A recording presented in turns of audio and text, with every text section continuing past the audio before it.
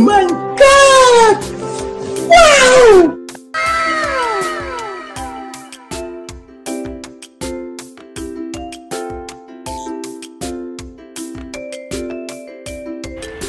Hi guys! Welcome to my channel. For today's video, nandito po tayo sa kusina ni Amo and magluluto po tayo today ng masarap at madali ang luto dito lamang po sa kusina ni Amo. But before we start, don't forget to like, share, and subscribe and hit the notification bell para maging updated sa aking bagong video. Our ingredients for today are 1 half kilo of pork ribs, spare ribs, 3 cloves of garlic, and 2 pieces of our potatoes. And for our condiments are rice wine, Maggi seasoning, red braising sauce, this one, and the dark sauce, oyster sauce, oil, and aged vinegar plus the black pepper. Let's go start cooking.